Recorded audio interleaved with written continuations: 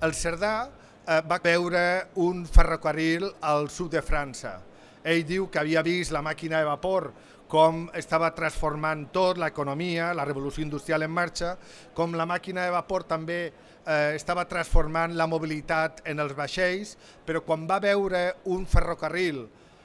va pensar que ferrocarril i ciutat vella no encaixaven i que per tant tindríem, teníem la possibilitat de repensar què volia dir viure de, de manera, diguem-ne, en comunitat. No? Llavors, eh, ell va fer una altra cosa increïble i és que va aconseguir, ell havia estat in, eh, estudiat enginyer de camins, en aquell moment la, eh, ell va ser de la tercera generació d'enginyers de camins d'Espanya. Llavors, en aquell moment, els enginyers de camins eren la professió nova, era com una mica les Smart Cities d'ara, era un moment de, de, de l'esperança en la tecnologia i en la innovació, i en aquell moment que internet no existia, la tecnologia era la màquina de vapor. Llavors, el Cerdà eh, va aconseguir que li encarreguessin un plano topogràfic de Barcelona i ningú mai li va encarregar l'Eixample. De fet, ell era un emprenedor perquè es va autoencarregar l'Eixample i d'una manera heroica, jo crec, va aconseguir aprovar-ho a l'any 59 i eh, llavors en aquest procés també, per exemple, va tenir que definir que era un carrer. En aquell moment, lògicament, els carrers no tenien ni il·luminació, no tenien ni clavegueram, no havia transport públic en la ciutat vella que coneixem avui en dia, i per tant es van tenir que inventar com s'integraven tots aquests elements en l'espai públic. De fet, 150 anys després, els carrers pràcticament continuen sent els mateixos, amb, la, amb les voreres, amb la segregació funcional dels espais. Avui en dia hem integrat les, la única capa nova són les tecnologies de la informació i de fet això ens tindria que fer pensar que si el Cerdà estigués viu avui en dia el que estaria pensant és com refer-ho tot això i com començar a introduir altres sistemes com la mobilitat intel·ligent, etc etc. no? qualsevol cas, Cerdà va eh, publicar dos llibres. També és una altra cosa interessant pensar com algú que ja havia aprovat el pla de l'Eixample i que estava la seva tasca era fer-ho possible, va decidir transmetre o escriure tot el seu coneixement amb algo que ell deia que era una ciència. Llavors, el que també mm, en tota aquesta recerca hem descobert algo també bastant elemental i és que en aquell moment les ciències estaven escrivint. Darwin va escriure a l'any 1859 l'origen de les espècies, el mateix any que eh, Cerdà va publicar la seva teoria, Marx va publicar El Capital. De fet, a l'any 66 Haeckel va acunyar la paraula ecologia, és a dir, la paraula ecologia i la paraula urbanisme es van inventar gairebé en un període d'un any. I el que és interessant és que aquests tres personatges representen segurament eh, alguns dels reptes actuals al voltant de com les ciutats poden ser la solució per resoldre els temes, eh, els reptes ecològics del planeta i els reptes també de les desigualtats socials. No? El cas de Cerdà, ell va escriure una teoria quan ja tenia l'experiència d'haver aprovat o haver desenvolupat aquest, aquest pla. Cerdà també va explicar, explica en la introducció de la teoria, que ell a l'any, eh, després de veure el fenomen, el, el, el, la qüestió aquella de veure el tren, va decidir estudiar qui havia escrit sobre la nova idea de fer ciutats i va descobrir que ningú ho havia fet. I el que va fer, per tant, ell, ell diu, escriu, eh, va estudiar tot el que havia a l'abast, perquè ell viatjava a Madrid i també a París, el que havia a l'abast sobre arquitectura, sobre lleis, sobre economia, sobre higienisme, estadística, geografia, administració, política, religió i filosofia. Llavors, pràcticament ell es va convertir en tots els departaments que podríem trobar avui en dia en un ajuntament. És a dir, va tenir que poder integrar coneixements molt diversos per poder desenvolupar la seva teoria. Originalment ell volia escriure quatre volums, el primer volum tracta sobre la urbanització en general i un atlas, el segon va, va, fer, va publicar un primer estudis estadístics de la classe obrera de Barcelona perquè en aquell moment l'estadística ja començava a ser important. Engels havia estudiat a Londres les condicions de vida de la classe obrera i ell, que clarament era una persona progressista, eh, pensava que tenia que demostrar en dades perquè calia fer la urbanització. Llavors el tercer volum eh, tenia que parlar sobre els projectes futurs, aplicar el seu coneixement al desenvolupament d'altres projectes d'urbanització al món i el quart volum volia dedicar-lo a reexplicar el projecte de Barcelona. Malauradament només va escriure dos volums i del primer volum, el, eh, que aquí teniu la versió traduïda a l'anglès, eh, en, el, en aquest volum està ple de referències a figures que mai s'han trobat. Llavors, Eh, per això és un llibre que parla d'urbanisme que no té cap dibuix, el qual és bastant sorprenent, però dos anys, tres anys abans va publicar uns articles a la revista del Col·legi d'Enginyers que tenia aquest tipus de làmines i molt probablement són làmines semblants a la que ell estaria dibuixant en aquell moment. I com veieu, el que tractava d'explicar, com fa la teoria, és com passem d'una ciutat medieval, amb carrerons, d'una,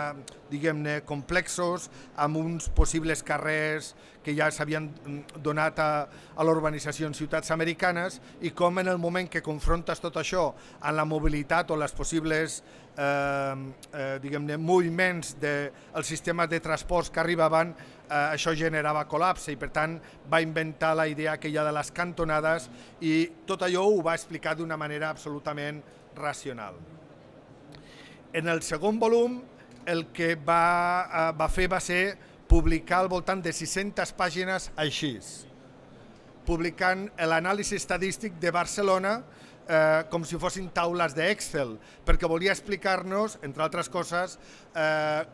quantes professions havien a la ciutat, eh, quanta gent moria, en quines illes morien, quina densitat tenien aquestes illes, és a dir, intentava analitzar de manera racional com era aquesta ciutat. La ciutat d'aquell moment, ell deia que havia el núcleo matriz i los suburbios marítimos, que eren l'actual ciutat vella i la Barceloneta, perquè l'Eixample lògicament no existia.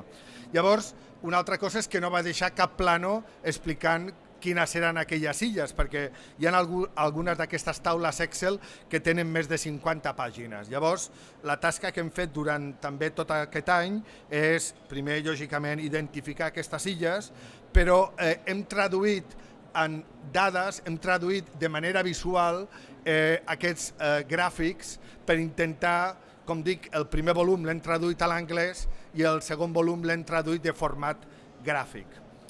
Llavors, per veure, eh, hem llançat la pàgina web urbanization.org, que ja està en funcionament, i per veure com són algunes d'aquestes algunes d'aquestes pàgines o algunes d'aquests gràfics,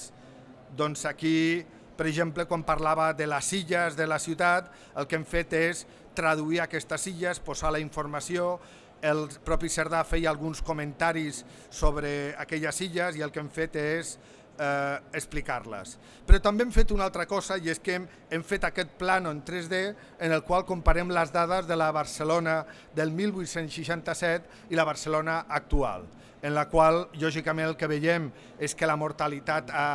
ha, ha, descendit, eh, ha hagut un descens brutal en l'àmbit de la mortalitat, però en altres elements respecte a la densitat o la salsada dels edificis, eh, la, la veritat és que Ciutat Vella continua bastant, eh, bastant igual. Han hagut, lògicament, també esventramentos, han hagut eh, apertures de carrers i espais més grans,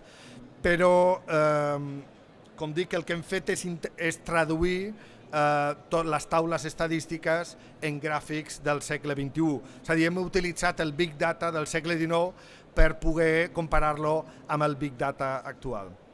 El resultat de tot aquest procés és que hem llançat una web que avui, a partir d'avui, ja està disponible, que es diu urbanization.org,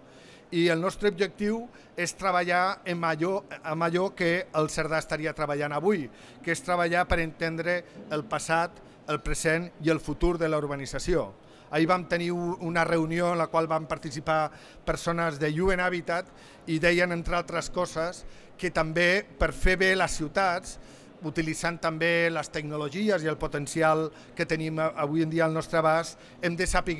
què és el que hem de saber. No? entre altres coses perquè quan el Cerdà va fer el seu eixample únicament havia un tipus de ciutat, que era la ciutat compacta, la ciutat gòtica en realitat, una ciutat eh, no mai pensada, sinó més aviat construïda. I avui en dia, quan parlem de ciutats i parlem d'urbanització, en realitat hi ha molt tipus de ciutats en el món, o molt tipus de urban fabrics, de, de trames construïdes, i per tant, quan parlem de vegades d'algunes tecnologies com les que tenim aquí i pensem com es poden aplicar a les ciutats, també hem de pensar que no és el mateix una ciutat com Barcelona, Nova York o San Francisco, o una ciutat dispersa com la que podem trobar en la perifèria americana, o una ciutat com podem trobar en la perifèria de les ciutats soviètiques, o ciutats com, eh, com podien ser les, la City Garden o també els parcs industrials. Per tant, avui en dia també hem de treballar per reconstruir aquesta ciència de fer ciutats de tal manera que tinguem un coneixement més holístic, més, més global i que ens ajudi a, a, diguem a construir una millor ciutat per, per millorar l'hàbitat de les persones. L'última cosa que diré és que el Cerdà no tan sols treballava sobre la ciutat, sinó també treballava sobre el camp. De fet, en la seva l'eslògan del llibre era eh, ruralitzar l'urbà i urbanitzar lo rural. Llavors, en l'última etapa de la seva vida, quan va, va ser president de la Diputació, va treballar molt també sobre com portar innovació, economia, estructura social al món rural a partir de la seva experiència de, de Catalunya i de Barcelona. Per tant, el que volia era finalment donar les gràcies a la Diputació per tot aquest recolzament en la traducció del, de la teoria general de l'urbanització, també a la Generalitat i a, bueno, i a tots aquells que han recolzat el projecte. Molt bé, moltes gràcies.